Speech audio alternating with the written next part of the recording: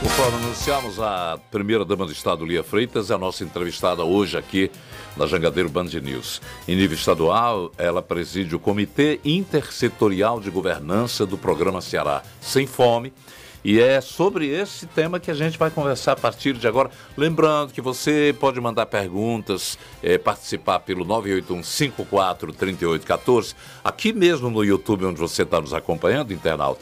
Também uh, utilize o chat para perguntas, ok? Primeira dama, bom dia.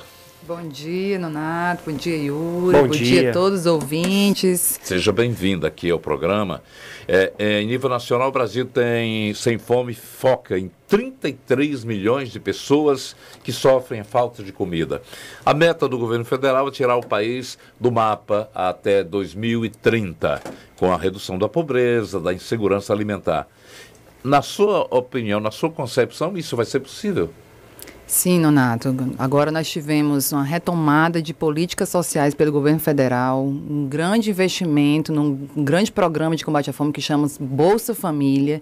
Esse programa aqui, só no estado do Ceará, tem injetado muito, muito quase que triplicado o valor nesse, nessas nossas famílias que mais necessitam e, inclusive, com novas regras. Então, nós temos hoje inclusão de crianças com 150 reais, de 0 a 6 anos recebendo por mês. Temos também um acréscimo para jovens jovens de 50 reais e para gestantes. Então é um programa que vem trazendo mudanças na vida do nosso povo, no Brasil inteiro, e trazendo inclusão socioeconômica. Quando você não se alimenta bem, Nonato, você não consegue sequer ir para a escola, ir para a faculdade. Há reflexos re, em todos os setores. E né? também comprometimentos cognitivos, neurológicos, uhum. desde, principalmente nas nossas crianças e para nossos futuros ativos do nosso país, né? para nossos futuros empregados, como também os os atuais, que precisam ser qualificados e se inserir no mercado de trabalho. Então, Qual é o mapa, o mapa da fome aqui no Ceará? Quantas pessoas estão nessa situação?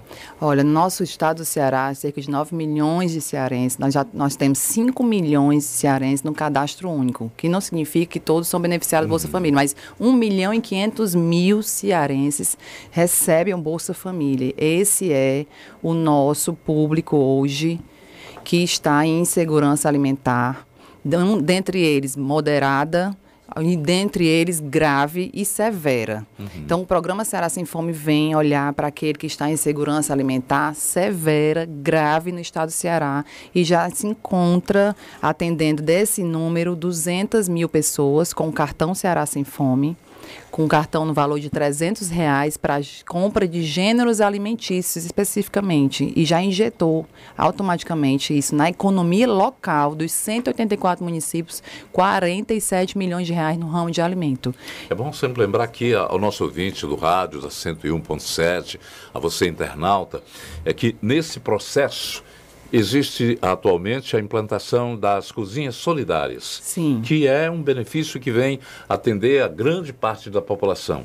Quantas já foram instaladas e o número de pessoas que é esse número beneficiado? O programa Ceará Sem Fome, então, está hoje, nesse momento, 14 de setembro, com 35 cozinhas. A meta é ter 100 mil pessoas por dia sendo alimentadas por essas cozinhas Ceará Sem Fome. Cada cozinha dessas 35 hoje está distribuindo 100 refeições. E em toda, no caso, atualmente somente em Fortaleza, mas elas estarão em todo o estado do Ceará. E como faz para você participar dessa cozinha? Boa. Se você não tiver, você não tiver hoje o que se alimentar, você vai procurar a cozinha mais próxima da sua casa. Nós temos um site, o site Ceará semfome.ce.gov.br para tirar todas as suas dúvidas junto a esse programa e para você participar. Se você está em extrema vulnerabilidade, desempregado, tem NI, CPF, a associação ou grupo de voluntários que está fazendo essa distribuição de refeições, vai fazer análise dos seus dados junto com o governo do estado e você vai fazer parte do programa. E ao, ao todo serão 1.298. A meta são 1.298 cozinhas em todo o estado do Ceará. Isso para começar. E já, já existe alguma implantada no interior? A gente está com São Gonçalo do Amarante, com seis cozinhas já lá. Teremos também abertura em breve em Calcaia também dessa semana, que a uhum. semana termina amanhã, e teremos também no Trairi também cozinhas. E estamos fazendo visitas técnicas. Por que, que elas não abriram imediatamente? Primeiramente, o Estado do Ceará, através da Secretaria de Desenvolvimento Agrário, que é executora das cozinhas, fez a seleção das entidades que vão gerenciar essas mil cozinhas e depois essas entidades estão no processo de cadastramento e visita técnica. Qual e cadastramento das pessoas. Ah, qual é o investimento é, nessa, nesse, nesse projeto, projeto, das cozinhas? Nas cozinhas já foi repassado para as 24 entidades vencedoras desse programa 45 milhões de reais. Então, eles estão com 45 milhões de reais de encaixa na uhum. conta bancária para poder comprar gêneros alimentícios, pagar é, cozinheiras e auxiliares de cozinha. Esse programa, além de levar a refeição pronta para aquele que está em segurança alimentar, que precisa, não tem o que comer hoje, ele também está gerando emprego de cozinheira, auxiliar de cozinha nas comunidades. Também cada entidade tem que ter uma equipe de nutricionista, técnicos para poder o programa acontecer. Como também está gerando renda na economia local no ramo de alimento, que essas comidas, esses gêneros alimentícios tem prioridade a agricultura familiar, para isso, a agricultura familiar também está inserida no programa através de um sistema de agricultores familiares para fornecer nossas cozinhas. Uhum. E temos, além disto, a nossa, as nossas quentinhas também, que é de isopor, esse comerciante, esse produtor de, de quentinhas também é um dos beneficiários. Então, é uma rede em torno desse alimento, Donato, que aí eu quero trazer para você, que é cearense e também contribui com nossos impostos, eu, Nonato, vocês todos, nós estamos investindo nesse programa 180 milhões de reais por conta da sua contribuição do imposto. E estamos também trazendo esse retorno para o ramo de alimento, para o ramo de quentinhas, para empregos. Então é uma cadeia, às vezes a gente não sabe para onde vai o nosso recurso, aqui a gente traz para você um dos, um dos é, encaminhamentos dessa, dessa receita. E é sempre bom ressaltar, só aproveitando, sempre bom ressaltar isso, né? Porque às vezes a pessoa diz, ah, por que não abre tal lugar, tal lugar? Mas é um trabalho, vamos dizer assim, multiprofissional, né? Por isso que Sim. tem que ser pensado, planejado com bastante cautela. Ah, e tem que ser em comunidades extremamente vulneráveis. Só em Fortaleza, Yuri, nós temos 800, 800 aglomerados subnormais, que é identificado pelo IBGE. O que significa? Favelas. Uhum comunidades superlotadas de pessoas. E o governo do estado não consegue ter um equipamento nesses 800 locais. Então, a gente, o que, que a gente acredita nessa parceria com a sociedade civil? O governador Elmano foi muito incisivo desde que começou. Eu quero chegar até as pessoas mais precisas através, reconhecendo o trabalho da sociedade civil, das igrejas, tanto católicos, evangélicos, povo terreiro. Nós temos vários pactuantes com esse programa. Uhum também as entidades de classe, as, as associações das comunidades, comunitárias, para que a gente possa juntos dar, unir nossos esforços e combater a fome. Agora, a unidade onde funciona o preparo das refeições, o trabalho é, dessas pessoas citadas pela senhora, são unidades diretamente é, para esse, esse projeto ou funciona em algum colégio, funciona em alguma etapa da, das comunidades? Funciona na, na, na comunidade. Ontem mesmo, comunidade. Na, na, própria comunidade. Ontem mesmo nós tivemos numa, numa entidade, numa associação chamada Olhando para Frente, no, no, bairro Santa Filomena. Ela já funciona há então, tempos, já ela já faz, inclusive, uhum. distribuição através de doações que ela arrecada. Semanalmente ela distribui sopas, uhum. é, refeições. Então, a gente vem aqui reconhecendo, principalmente as que já existem. Existem em igrejas, existem em sindicatos, existem em casas. Agrega, Você é um grupo de voluntários, agrega essas ONGs Sim. para um trabalho muito mais forte, né? Sim, elas já vêm fazendo esse trabalho, só que ela fazia uma vez por semana. Agora ela vai ter recursos públicos para cinco dias na semana, regularmente oferecer 100 refeições por dia. Olha, a gente está conversando para você que abriu o rádio agora com a primeira-dama de Fortaleza, do estado do Ceará, Nonato.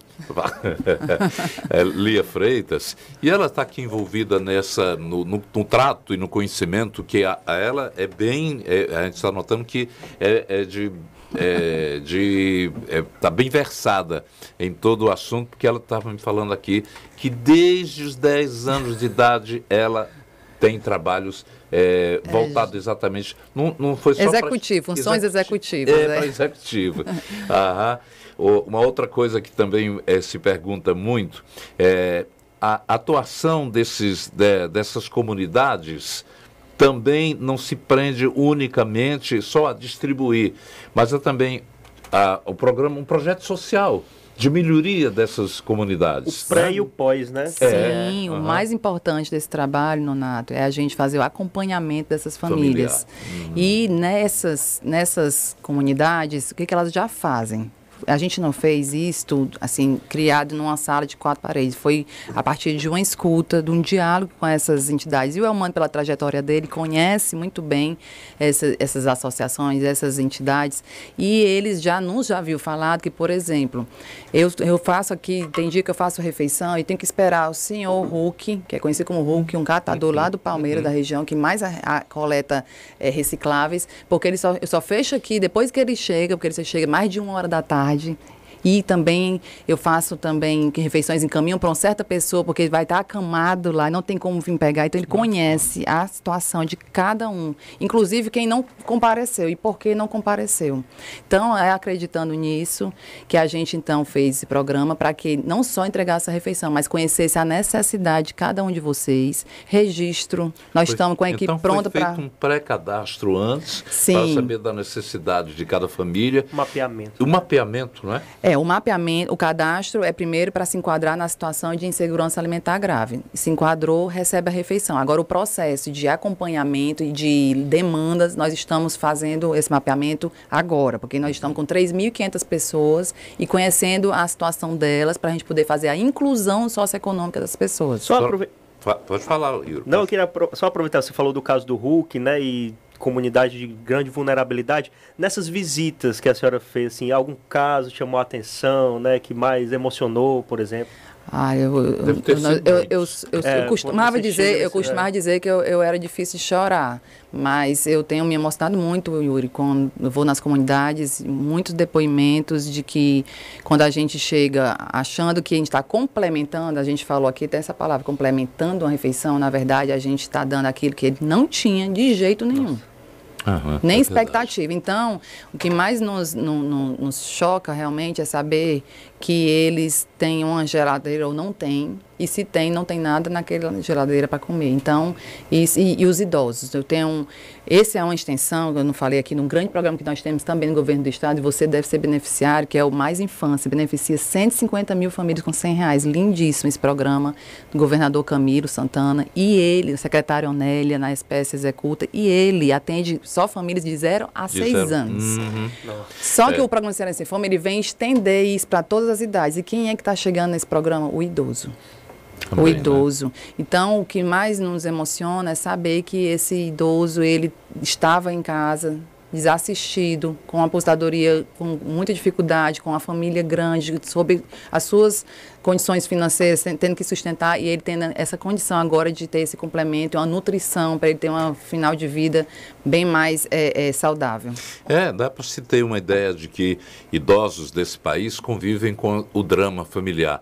Muitos avós, eu não, não falo nem como pai, muitos avós é, pegam do pequeno é, curso que recebem de uma aposentadoria ou para compra de medicamentos, Isso. por conta da idade surgem os problemas é, realmente de saúde, saúde.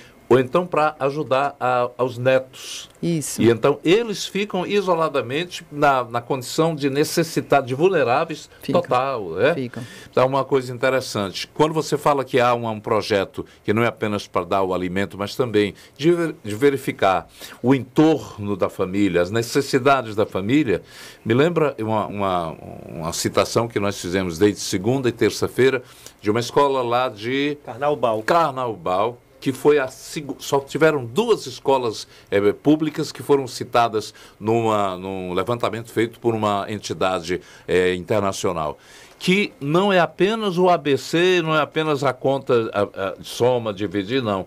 Há uma complementação junto à família para saber da questão da saúde mental, da questão eu acho isso interessante, é. essa interligação com outros aspectos, né? Sim, essa intersetorialidade, essa criação de vínculo familiar tem sido muito forte também trabalhado no governo do estado do Ceará. Inclusive, nós temos complexos mais infância, que faz parte desse programa também que eu estava falando agora, que ele atende desde a criança, o pai e a avó. Então, enquanto a criança está fazendo um balé, a avó está no coral uhum. e o pai está fazendo um curso de robótica, por exemplo.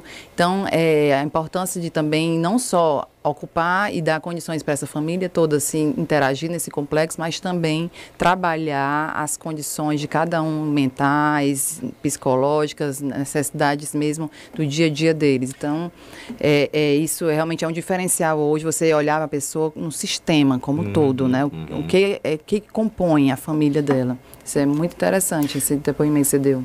Lê, a, a, longo prazo, o problema da fome também passa por diferentes pastas, entre elas emprego e renda. Você já citou aí que há, há, um, há um, um mundo de, de, pessoas que estão sendo, nesse, nesse momento, interligadas a esse projeto. Como é hoje o diálogo é, do programa com essas outras vertentes do Estado? Pronto. No programa, inclusive, a gente preside um comitê intersetorial de governança desse programa. Ele tem 15 secretarias. Hoje, o governo do estado do Ceará ele tem secretaria específica para povos indígenas, igualdade racial, juventude, direitos humanos, mulheres. E dentre essas específicas, nós temos também trabalhado com a saúde, principalmente com a Secretaria de Trabalho, Uhum. que é onde gerencia o IDT, que aí eu vou já falar sobre esse detalhe, que é muito importante, tem sido muito parceiro nesse programa. E temos também a Secretaria de Proteção Social, importantíssima na qualificação das pessoas, e conhecer e gerenciar o cadastro único. E temos a Secretaria de Desenvolvimento Agrário, Desenvolvimento Econômico, e nesse processo, juntos, nós temos um secretariado, um corpo hoje voltado desde a CAGES, Nonato. A gente costuma dizer, a, a falta de esgoto sanitário e também água é, canada é, é também fome, do nosso, nosso povo. Então, desde nós temos engajamento, desde uma empresa até todos os secretários, para que a gente possa sanar todos os problemas que possam gerar a fome do nosso povo. E que se refere a emprego e renda, a Secretaria de Trabalho, através do secretário Vlades, hoje tem no seu banco de dados o que ele tinha antes, que era só ligado ao Ministério do Trabalho, o acesso que ele tinha de bancos, hoje ele tem o do cadastro único. O que significa? Você que recebe Bolsa Família e está hoje no banco de dados do IDT, do Instituto de Desenvolvimento do Trabalho, trabalho para você ser é, contactado para uma vaga de emprego como prioridade. O uhum. governador Mano, por lei, estabeleceu para a gente é, priorizar as contratações de, de, de, beneficiários do Bolsa Família, uhum. que são uhum. nossos beneficiários também do Ceará uhum. Sem Fome.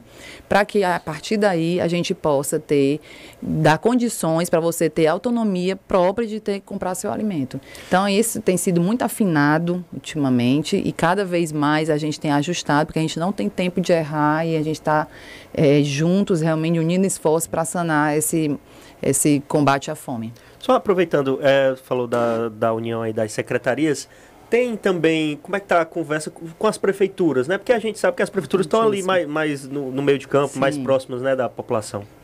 As prefeituras nós tivemos já no Pacto Será Sem Fome, Urinar, no dia 16 de junho, já a adesão da associação, pela, através do prefeito Júnior de Chorozinha, Associação dos Prefeitos, a Prece. E uhum. estamos fazendo pactos individualmente com 184 prefeitos, para que a gente possa juntos realizar ações específicas para, para o nosso povo cearense. E agora, nesse momento, a gente está, inclusive, credenciando cozinhas conversando também com as prefeituras, que são as que administram aquela cidade, administram, fiscalizam, têm suas vigilâncias sanitárias, porque, e tendo um papel fundamental da prefeitura para fazer, junto ao governo do estado, uma boa fiscalização dessas ações. Eles já começaram conosco, junto à entrega dos cartões Será Sem Fome, eles tiveram um papel fundamental. Sem os prefeitos, os CRAS, nós não teríamos realizado esse grande projeto. E aqui eu faço um agradecimento aos 184 prefeitos que contribuíram na entrega de 43 mil cartões em tempo recorde.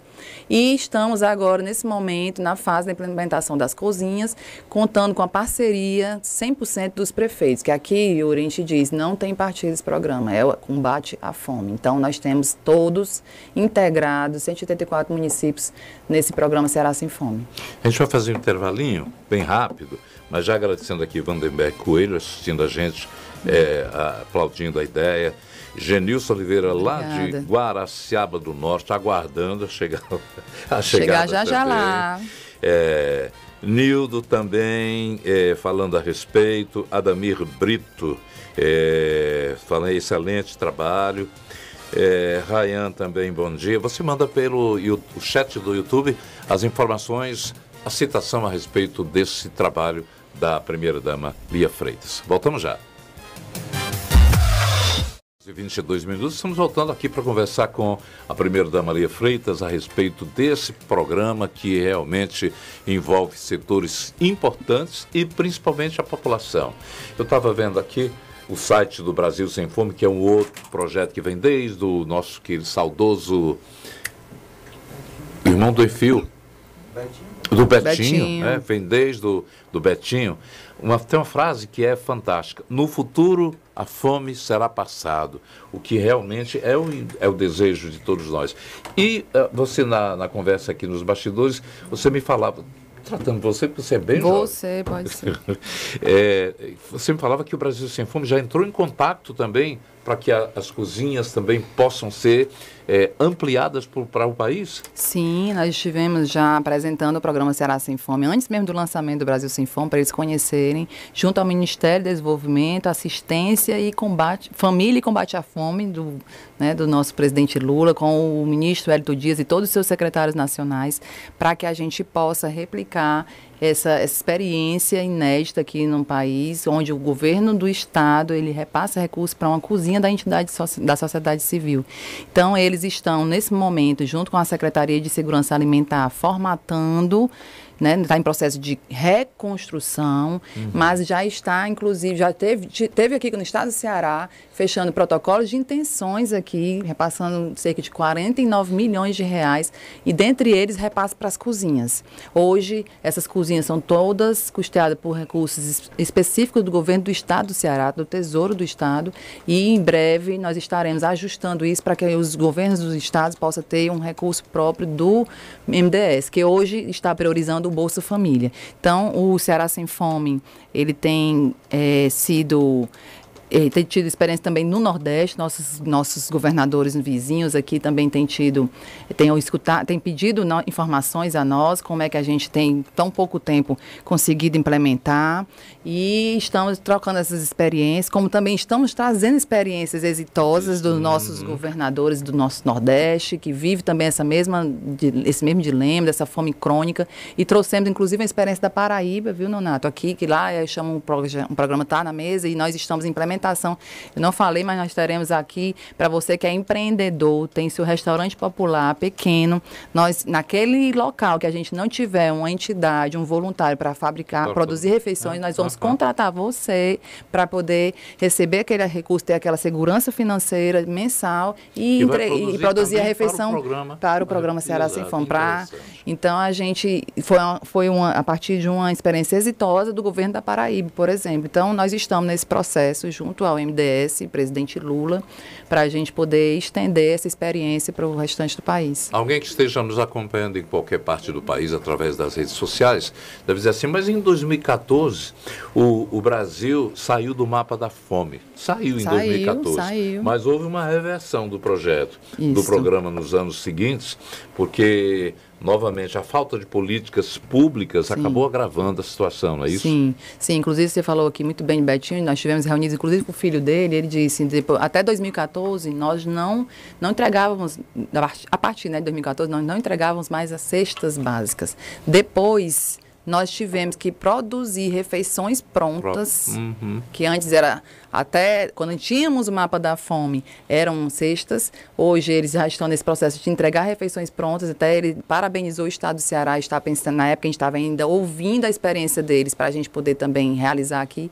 Uhum. E ele relatou, desde 2016, 2017, nós tivemos que voltar a fazer tudo isso de novo. Então, infelizmente, nós passamos por um processo de desconstrução de política nos últimos seis anos e estamos agora nesse processo de reconstrução, de retomada, de dignidade qualidade de vida para as pessoas terem condições e autonomia de comprar seu próprio alimento, que é a base né, da pirâmide, você poder se alimentar e daí você ter vida, né? Porque não conseguimos ter vida sem esses alimentos. Então, É, é, a gente hoje fala isso como passado, que agora nós temos uma outra expectativa, agora temos governador Elmano, temos governa presidente Lula e temos muita gente com força de vontade, até mesmo dos próprios movimentos, com muito com um ânimo renovado para a gente poder mudar a vida das pessoas.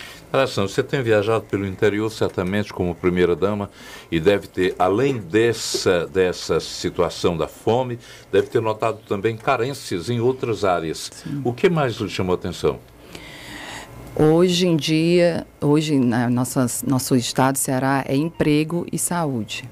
Emprego e saúde é o que mais é demandado no interior do estado do Ceará. Para isso, o governador Elmano, para quem acompanha a imprensa, teve uma matéria nos quatro primeiros meses que ele passou 30 dias viajando. E realmente, inclusive, ele se encontra atualmente na China porque busca muitos investimentos para o nosso estado, busca desenvolvimento econômico, busca mercado, mais empregos para o nosso povo. Nós temos cidades no interior que são só cidades dormitórios. O que uhum. são cidades dormitório? Você que mora nesse interior sabe, vocês têm, todos têm que se empregar nas, nas nos, nos, municípios. É, e o prefeito ele fica quase sem nenhuma é, é, é, arrecadação, porque ele não tem como girar. Uhum. Inclusive, temos municípios aqui, eu até me solidarizo aos prefeitos, vamos tentar mudar a situação, que a renda deles é 80% dos seus munícipes, Nonato, a única renda é o Bolsa Família. Incrível, né? Então, um município de 6 mil pessoas. Então, essas são as questões realmente hoje que mais é, é, é nos trazem é, ânimo para a gente trabalhar de segunda a segunda. E o governador Elmano também tem se empenhado muito para mudar a vida do povo que mais precisa realmente que e a saúde a saúde ela tem também se reconstruído muito num processo, digamos, federal, retomada da atenção primária, que foi outra desconstrução de política que nós tivemos, desarmou tudo, desde a vacina, Nonata, as partes mais básicas mesmo da saúde atendimento. Então, nós estamos nesse processo de retomada disso. E o governo do Estado do Ceará, que é responsável pelo setor secundário e terciário, está superlotado, porque a atenção primária estava desassistida. Então, nós estamos nesse processo de retomada de tudo isso, para que o nosso povo volte a ter o SUS de verdade, novamente. Vamos falar do, do governador Elmano, que na hora da China deve ser já chegando 11 horas da noite lá. Isso. Então, como é que ele tem falado a respeito do, dos contatos e dos projetos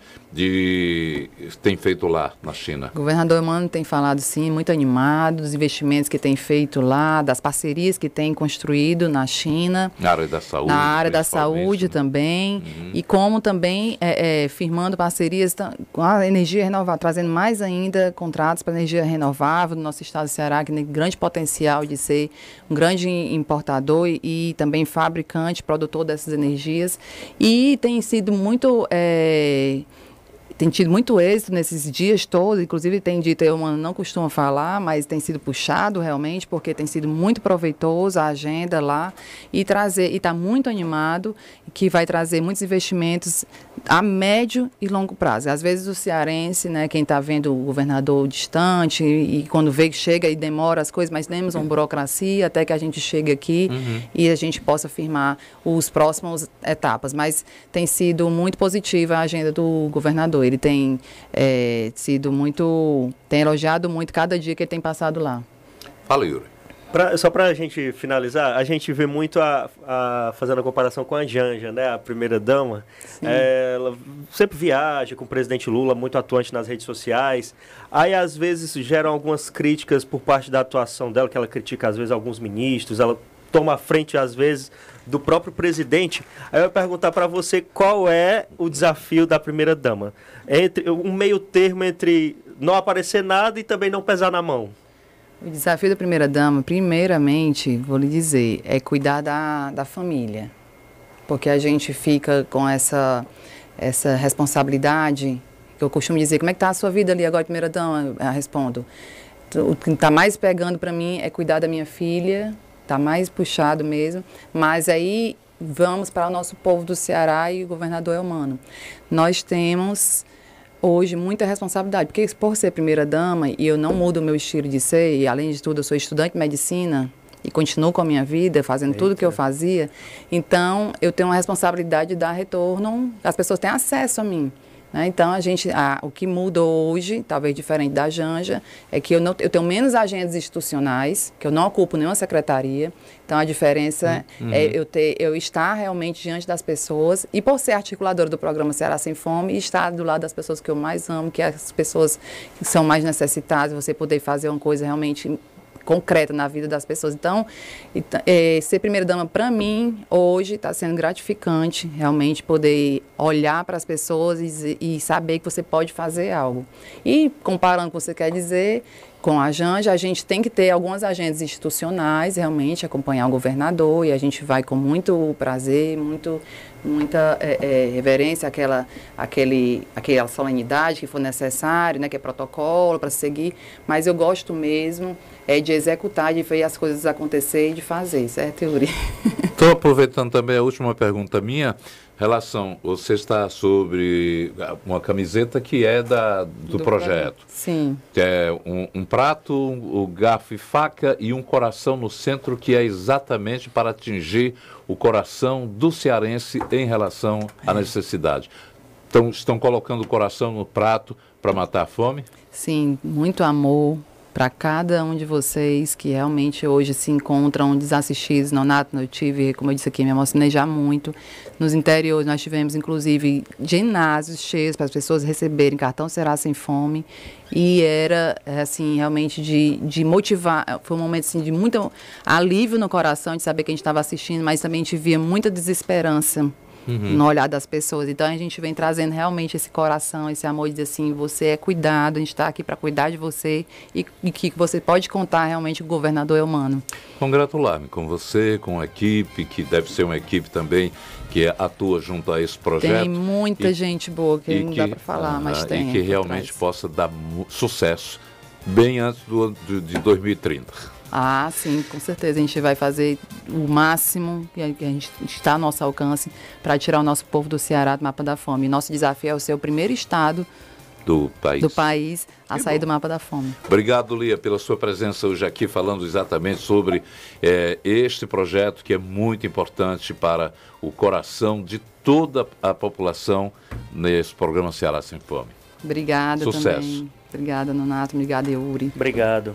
10h35 agora.